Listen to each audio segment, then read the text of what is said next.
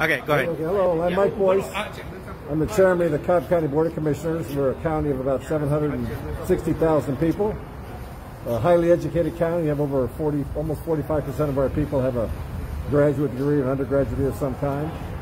And they're very reasonable people, and uh, they have a great deal of respect for their government and for each other. We're a very compassionate, very spiritual community.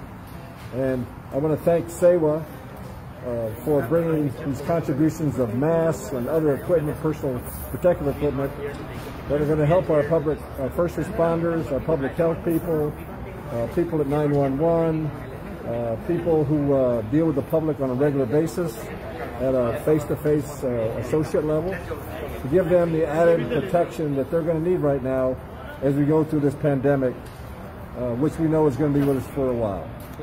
So thank you for the the spirit of compassion and donation and giving and generosity that would, makes you a very much big part of Cobb County. You're always welcome to come here. We'd love to have you. But for now, we'll take your gifts of, uh, of safety for our people and thank you uh, again for uh, thinking about our first responders. Thank you. Will that work? Thank you.